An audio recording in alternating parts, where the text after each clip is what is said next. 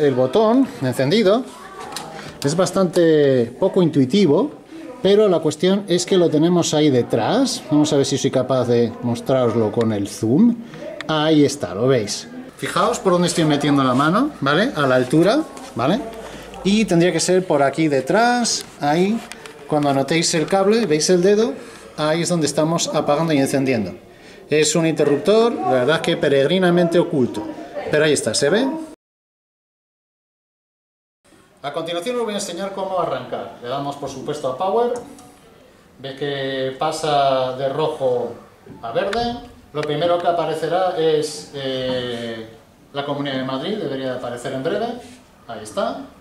Puede que tarde de 10 a 15 segundos. No os debe de sorprender que tarde fácilmente de medio minuto a un minuto el proceso completo.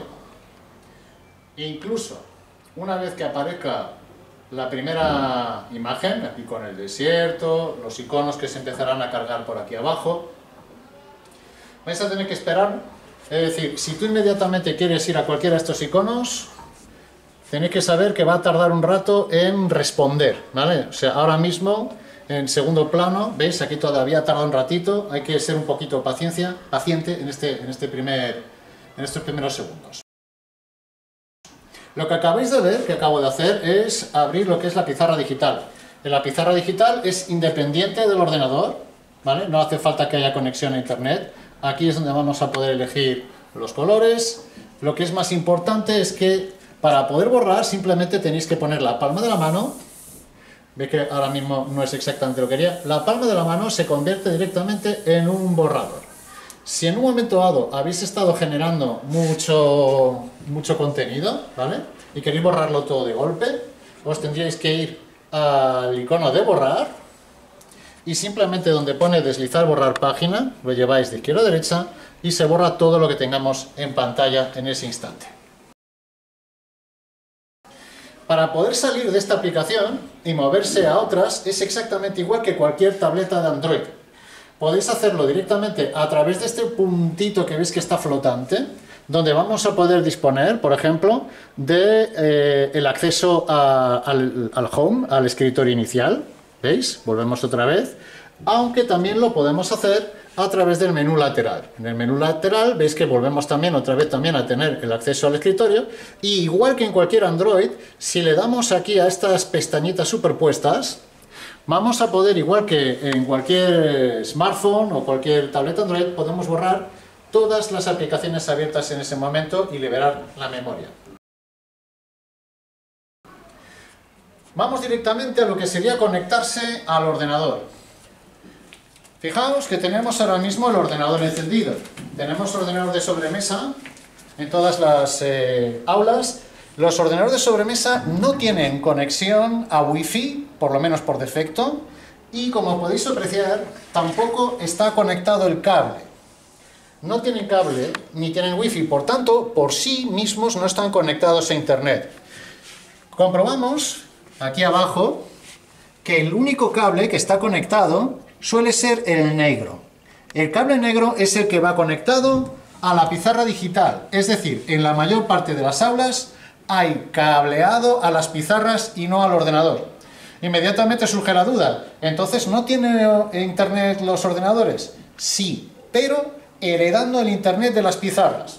¿Cómo vamos a garantizar que esto vaya a funcionar? Fijaos que actualmente, aquí lo estamos viendo, puedes usar el zoom para, para enseñarlo, Actualmente este ordenador está sin conexión, es decir, que si yo ahora mismo me voy a internet y trato de pasar, por ejemplo, raíces de entrada y por sí mismo y de manera independiente no tiene internet. ¿Cómo le voy a poder, fijaos, efectivamente, ¿veis? No tenemos internet de entrada. ¿Cómo voy a conseguir que este ordenador se conecte? Os explico. Nos vamos a la pizarra, a la pizarra digital, aquí estamos, y nos tenemos que precisamente poner en modo de presentación. Cuando le doy aquí a modo de presentación, vamos a tener que elegir eh, la conexión oportuna. Fijaos que por defecto vamos a tener dudas si es HDMI 1, HDMI 2, HDMI 3. Podemos evidentemente consultarlo en el cajetín. El cajetín es este de aquí. Y fijaos que en este caso el cajetín me está diciendo que estamos conectados a HDMI 2. Otra manera de consultar dónde está conectado el ordenador es, fijaos, en el botón de Source. Source. Le damos y veis que aquí nos van a salir todas las conexiones y allí donde tenemos el puntito rojo, lo vuelvo otra vez a hacer, que se ha ido, donde tenemos el puntito rojo es donde vamos a tener la conexión. Hago clic sobre él y ahora va a salir el contenido de la pantalla del ordenador. Ahí está. Fijaos que en el momento en que nos hemos conectado se ha establecido la conexión, es decir, que ha heredado la conexión de internet. Ahora ya sí vamos a tener internet. Eh, muchas veces vamos a tener una pantalla que es expansiva y que no refleja el contenido de la pantalla inicial. ¿Cómo podemos hacer que se espeje la pantalla? Esto no es nuevo, esto ya lo sabéis. Nos vamos a Inicio, Sistema, Preferencias, Hardware y en última instancia nos vamos a Pantallas. Dentro de pantallas, como es habitual, le decimos la imagen, la misma imagen en todos los monitores. Y por supuesto, aplicar. Mantenemos configuración, cerramos y vais a poder apreciar que ahora ya sí, en la pizarra, vamos a tener exactamente lo mismo que tenemos en la pantalla inicial. La ventaja que tenemos es que además esto es táctil, es decir, yo puedo, como podéis ver, interactuar directamente con el navegador, tanto de carpetas como de internet. Puedo minimizar, puedo abrir cualquier programa, abrir por ejemplo cualquiera, el gráficos, y vamos a tener todas las aplicaciones que no tenemos en la, en la pizarra digital por defecto. Si os preguntáis, una vez que yo, por ejemplo, quiero usar la pizarra digital eh, de, la propia, eh, de la propia pantalla, ¿Significa eso que saldríamos del internet del ordenador? La respuesta es sí. Tú una vez que, por ejemplo, vamos a Home, ¿vale? Inmediatamente el ordenador, fijaos, de hecho, se queda sin internet. Fijaos que acaba de desconectarse, ¿vale? Ahora ya no tenemos internet. Porque la única manera de que exista internet, insisto, es que esté en continua conexión. Fijaos que ahora ya no tenemos internet. ¿Cómo podría entonces yo, por ejemplo, pasar las faltas de raíces sin que el alumnado esté continuamente viendo lo que estoy haciendo? Os voy a explicar cómo. Me voy a presentación de nuevo, HDMI 2 en esta ocasión, como habíamos visto antes. Ahora, fijaos que va a volver a conectarse, lo estáis viendo allí, ya se está conectando, ha heredado el internet de la pizarra, ¿vale? Y yo digo en un momento dado, vale, me parece estupendo, yo quiero pasar ahora las, eh, las faltas, pero sin que el alumnado lo vea. ¿Cómo puedo hacerlos para que no se pierda internet?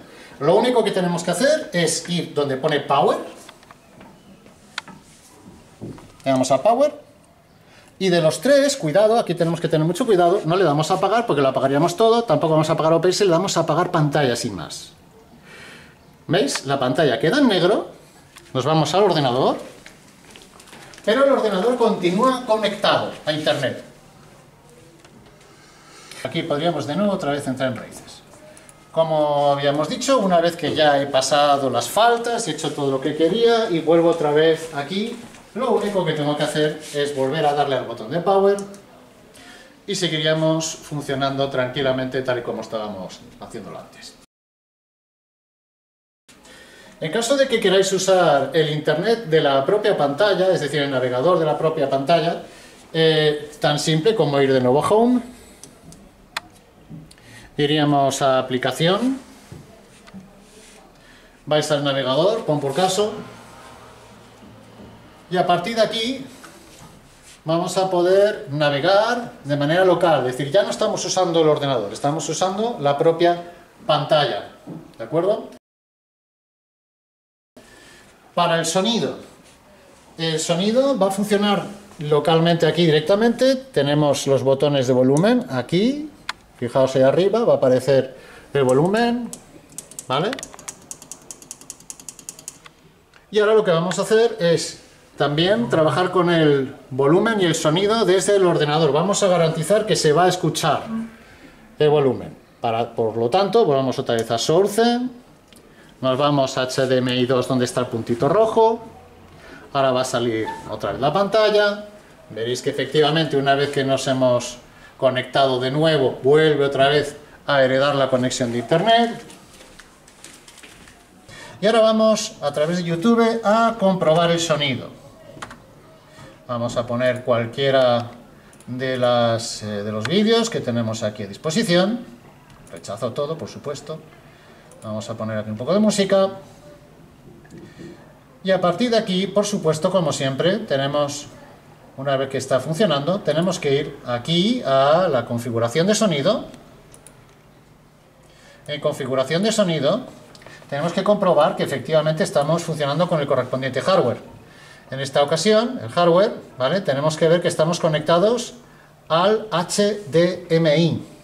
¿Veis? Al HDMI. Y dentro de aquí, dentro del perfil HDMI, acordaos que estamos transmitiendo a través del HDMI 2. ¿Vale? Vamos a ver. Sigue sin sonar todavía. Vamos a salida. Y en salida también nos falta todavía por terminar de decirle que conecte con HDMI 2. Fijaos, ahora empieza a sonar, a lo mejor no se oye a través de la cámara, pero se oye perfectamente. Vamos a ir para acá, cuidado.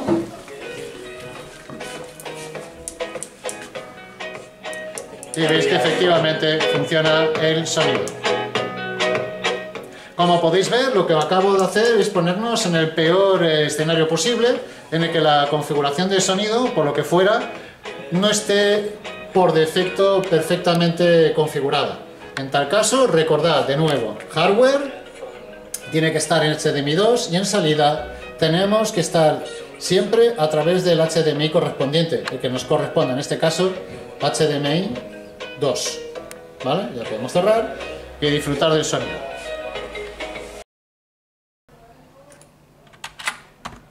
Nada, no quiere conectarse. Cuando esto pasa, lo que vamos a hacer es lo siguiente. Vamos a desconectar y volver a conectar. A ver si de esta manera forzamos la conexión de nuevo. Se ha establecido conexión de nuevo. Vamos a ver si suerte y nos coge la conexión en esta ocasión.